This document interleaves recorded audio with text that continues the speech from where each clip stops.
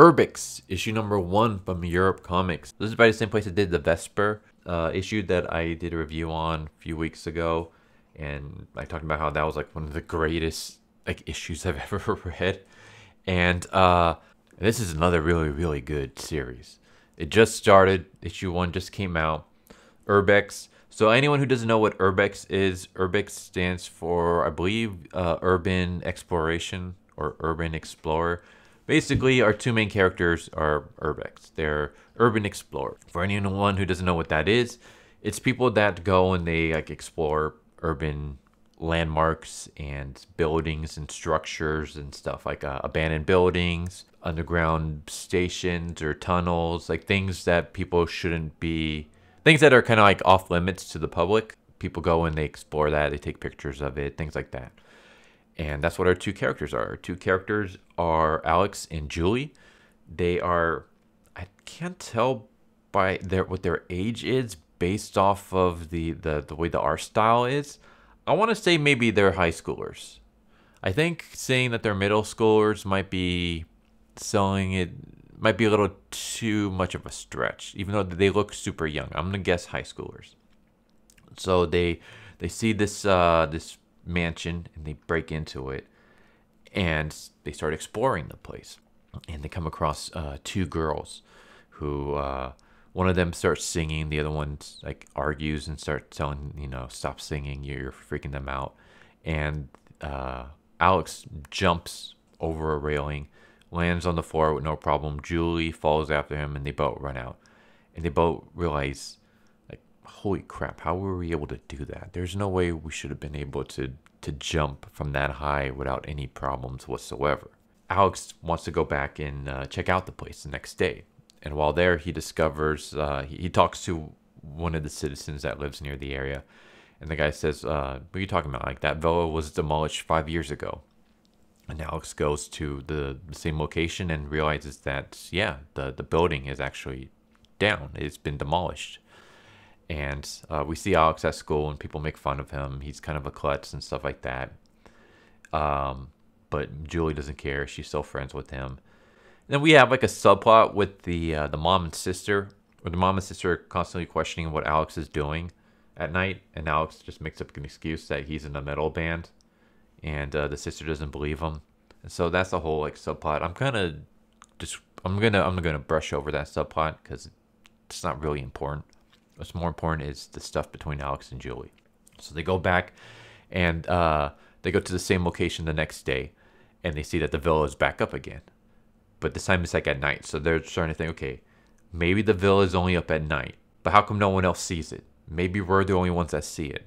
But why are we the only ones that can see this thing? What the hell is going on? And inside we see the ghosts, and the ghosts are kind of arguing with each other. One of them wants to talk to Julie and Alex. The other one doesn't, and we don't really know why.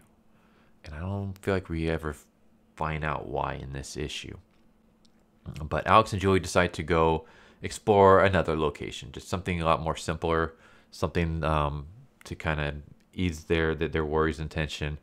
And during this exploration, um, Alex goes in for a kiss because he has a crush on Julie and he hits his head on a doorknob before he can kiss her. And she doesn't notice because she has her eyes closed.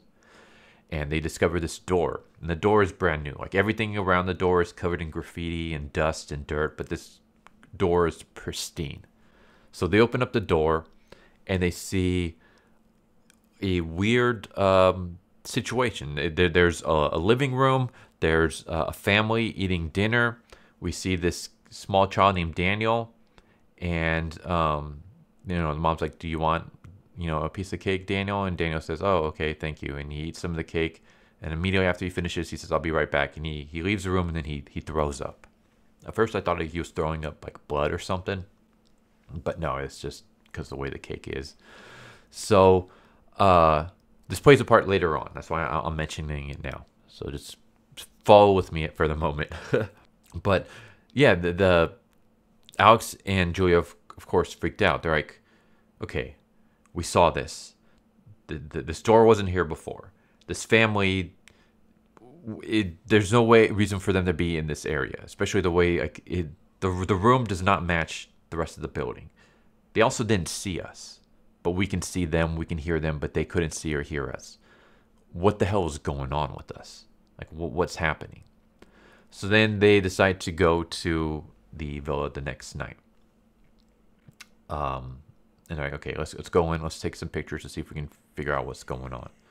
And while there, they see the, the two ghosts again. Only instead of children, the ghosts are now babies, and one of them is uh, again trying to scare the the two characters, and the other ghost baby is trying to tell uh, the other ghost like stop doing that.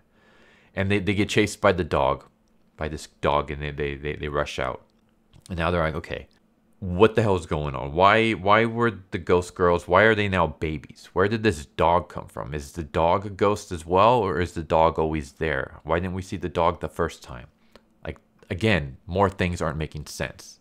And we see the ghosts again inside their uh, the villa, and now the ghost is a grown woman, and she they're they're arguing with each other, and then we find out that one of them is not really there. The the ghost woman is arguing at a mirror, uh, a mirror reflection of herself, and the mirror reflection is arguing back. And so now we're starting to piece together that they're they're not two people, but they're one person that's been split. They're basically a yin and yang of each other. That's why like one one of the ghosts is very aggressive and the other one's a lot more passive. One of them is more angry and the other one's more friendly. They're the same person, but they're split from each other. Yeah, well, we see we see more of uh, of their lives and their school life and things like that. And they go on another um, urban uh, exploration. This one with uh, another couple, and they go into this other new building. And while there, they they see, um, they they they see Daniel's mother and father arguing with Daniel's uncle uncle Daniel's basically uh, they're discussing how Daniel is thinking about being a social worker. Like you know, it's, it's a great job. He wants to help kids, and the uncle is kind of talking about how that's stupid and things. So the uncle is kind of coming across like a dick. And again, we'll see why later on. But uh, once again, only Alex and Julie can see this. The other couple that's with them don't notice, and they're like, "What? What are you guys staring at?" So now they're trying to piece more of this together they're they're like, okay, it looks like the flashbacks that we're getting are all of the same person, right? Like that's the only thing that can make sense to us. Let's go in and check out another place. So once again, they go with the couple, and they check out this other place. And while there, they see who they think is Daniel, uh, talking to uh, his boss, and the boss is basically like arguing with him telling him kind of kind of he has the qualifications for a better job, but instead he's taking this crappy job and he's letting the boss bully him around. And once again, Alex and Julia are trying to figure out, okay, why does he keep doing this? Why is he allowing everyone to to like just brush over him and, and to steamroll him? Why isn't he standing up for himself? Okay, we gotta we gotta explore some more. Maybe the ghost girls will know something. Maybe we'll find out something inside the house because it seems like the house is where we keep developing the, these powers, like where the, these powers of us being able to jump and run on walls and shit. Like all this seems to be happening in this house. So let's go check out the house. So they go check out the house. They get attacked by the dog, but they think, okay, the dog is a ghost, so the ghost dog won't be able to hurt us. But the ghost dog bites Julie and actually like causes her to bleed. So Alex kicks the dog off, grabs her, and helps carry her towards the exit. And as she's doing that, and as he's doing that, he sees the two ghost girls. Now they appear to be pregnant. And once again, Alex and Julie are confused, but they he grabs Julie and he carries her um, out of the, the villa as the dog chases them. And the dog can't go past the gates, so they're they're safe. And then um, you know Julie takes off her hoodie so that they can stop the the bleeding. But then they realize that the bleeding is disappearing and the bite marks are gone. So the dog can only affect them when they're inside the, the building. They can't, once they leave, it, it goes away. Uh, basically, like anything else inside this villa, as soon as you go past the gates, it disappears. And uh, they find this plaque, and the plaque matches the, the villa, and then they discover that this villa is, um, it belongs to Dr. Wilfred Gruber, a psychiatric clinic. And so now they're trying to find information on this guy, but they're finding very little information. They go and they explore another building and they, they see a, another situation. This time they, they see uh, we see the the uncle, and the uncle is basically having a conversation with him, like, uh, you know, why does this idiot Daniel, why does he want to help kids? Like, where the hell did he come up with the idea? Could, could he be remembering something? Either way, he better keep his mouth shut. So we, we get hints that, okay, the uncle did something and he's trying to hide it. And once again, now they get attacked by the dog. But they're kind of confused, like, why is the dog attacking us in this building when the dog has only ever appeared to us inside the villa? Like, what's going on here? But of course, they can't stop to think about this. They, they got to run. So they, they actually jump out of, out of the building. And there are multiple floors up, but they're, they're able to, to land safely on the ground using some parkour and stuff. And once again, they're like, what the hell is going on with this? Why are we getting these powers? Like, this doesn't make any sense. Why is this dog here? The dog wasn't here before. Is is the dog a manifestation of Daniel? Like everything we see seems to be revolving around Daniel. Why? And they even sneak into um, another house and they see another vision with Daniel. This time, Daniel is arguing with his wife. And the, the argument is that Daniel gets called to work at a construction site, and the wife's like, you know, screw that. Don't do that. Like, that guy's a slave driver. You have a degree in education, and you're working these lousy, dangerous jobs. Why? Um, and Daniel's like, you know, he said I had to come in right away. And the wife's like, no, tell him that he can build the tallest tower in the city without you. Like, you're, you're better than this, Daniel. And that's when the two are like, okay, it seems like everything has to revolve around, everything in here revolves around Daniel. Let's, let's, but let's make sure. So once again, they go into a building with the uh, the other couple, and then they see the same argument with the, the parents and the uncle. And while there, they see Daniel hiding behind the couch, listening to this conversation. Daniel is now a teenager, and that's when he realized, okay, everything here is revolving around Daniel. In one of the visions, the uh, Daniel's wife mentions the the tallest tower in the city. Let's find the construction site for the tar- tallest tower in the city and let's see if we can find Daniel and let's confront him on this. So they, they find Daniel, they try to talk to him, um, but one of the bosses shows up and basically kicks them off the property. And during this, we realize uh, we see the ghost girls and the ghost dog in the villa. And we realize that anytime the kids, uh, Alex and Julia, are close to solving what's going on, the dog seems to be pissed off. The dog doesn't want them to, to find out what's happening. He doesn't. That's why he keeps trying to scare them away from talking to the ghost girls. That's why he keeps trying to scare them away when they're seeing visions of Daniel and stuff. But eventually, they they confront Daniel, and they they they mention, um, you know, why why are you scared of dogs? What's going on? And Daniel, I guess maybe he uh, he sees like why how do they have all this information then when I've never told anybody? And he's like, okay, maybe maybe there's something that I've been hiding and I need to get off my chest. So he tells them what happened he tells him about how he used to, uh, you know, go visit his uncle, and his uncle had this scary dog, but uh, the uncle would just say, "Oh, he, he's not dangerous. He just wants to play." And then the the uncle says he wanted to play too, and then the uncle would push him on the swing, and then his hands would start moving, and he will start touching him inappropriately. I'm, I'm sure you guys can figure out where where this is going. Uh, and Daniel's like, "I don't like this game. This is a bad game." Um, and the uncle's like, all right, but this will be our little secret. Don't tell anybody. And the boy's like, no, like, this is a bad game. I'm to tell mom and dad. So the uncle actually grabs Daniel, throws him inside a pin with the dog, and the angry dog is basically barking and yelling at Daniel, like, and Daniel can't get out. And the uncle's like, I'm not going to let you go out unless you promise not to tell anybody. Got it? And so Daniel says, yes, yes, okay, uh, anything. So that's why we see Daniel eh, because of this trauma, that's where the dog comes in. That's why Daniel has trouble saying no to people is because of this, because his uncle was inappropriately touching him and then threatened him by using the dog. So that's when Alex and Julie says you you got to you got to do something and you know what you got to do to get rid of this dog that's ruining your life. Like you're better than this Daniel.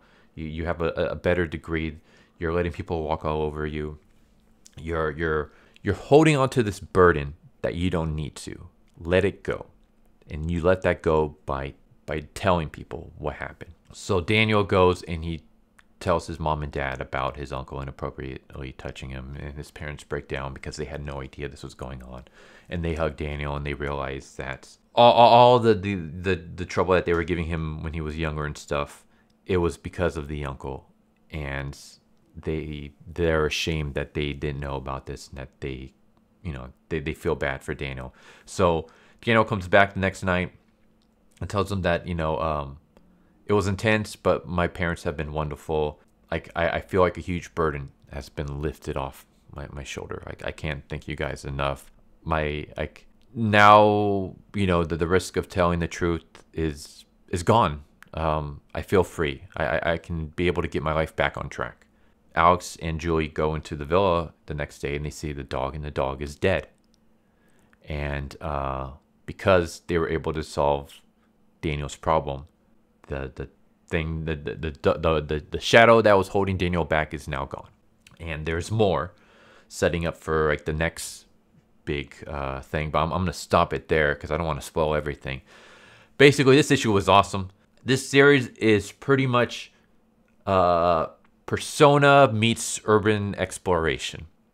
This, as I was reading this, this reminds me straight up of Persona, where these people are they're literally jumping into at least in this case they, they jumped into daniel's past and his his shadows and they confronted it and they were able to help him defeat this thing that was hanging over his head and now he's a better person. Well now he can get his life back on track. He, he, he feels like this weight's off his shoulder and now the shadow the, the the monster that was holding him back is dead. So now they they defeated that obstacle and now it's on to the next one so it, it feels very much um, like Persona with the twist. And as a huge Persona fan, like I, I freaking I love that. The the artwork I, I enjoy the artwork is very stylized, but also very well done and beautiful, especially with the coloring and things. Like so yeah, maybe anyone who's tired of American comics and doesn't feel like reading manga for whatever reason, maybe you guys should check out European comics. I don't just mean Europe Comics, the publisher, but I mean definitely check them out because the few stuff I've read from them have been freaking amazing. But go check out European comics in general because it seems like every European comic I check out has just been a freaking blast. Like I haven't been disappointed yet. Granted, I haven't read that many of them, but the ones that I have have just blown my mind with how gorgeous the artwork is and how beautiful and well done the story is and that's what this issue. This issue is freaking amazing. I this this is uh, an, an awesome awesome issue, and I I hope it keeps going. The reason I say that was because uh, the uh, the Vesper. I have no idea what's going on with Vesper. There there I did the, the video for the the Amazon and then I looked up to see if there was going to be more, but there's I, I can't find any information on on the follow up. But there has to be because the way that that issue ended, there's like a huge cliffhanger. It's like our journey's not done. But all I can find information on is like there's uh, an art book, there's a video game coming out, but I can't find any information on any upcoming issues. So I have no idea what's going on there. I there there is no like to be continued at the end here, but it's obvious that the story is not done. We we we're literally setting up for like the next the next arc or the the, the next um the next story, the next mystery that has to get solved. Like we, we literally just set up a new mystery. So it can't end on this issue. So I'm hoping that this is one of those where it's gonna, you know, we're gonna get more issues. I'm a little bit worried that we're not, just because there's no hint that there is. This is by the same publisher, Europe Comics, that did Vespera, so I don't know. But I hope it does because this has been freaking amazing. And I I enjoy the characters. I like the artwork. I love the premise. I, I love where this is going. This is uh, a freaking fantastic. This is a nine point. You know what? God, I'm I'm hold. I'm gonna say this is a 9.5 out of 10. The only thing holding back from being a perfect score is that it, there's no closure. But I'm assuming there's no closure because we're to be continuing. So if we're to be continuing, and then we see this, you know, to the end, and, and depending on how that wraps up, this could be like a perfect series. So far, the the only thing keeping this from being perfect is that we have an open-ended ending that sets up for the next arc or the next mystery that got that needs to be solved. So because of that, if this is all we get, it it's kind of a I don't want to say a slap in the face. There, there there's questions that needs to be answered. We, like I said, we have the the mystery set up, uh, the next mystery set up, so we need to see the conclusion of that mystery. We we have no idea why they're getting these powers, why it's only them two, how come they're the only ones that can see this. We have no idea what the whole clinic in the villa has to, you know, where that story's going.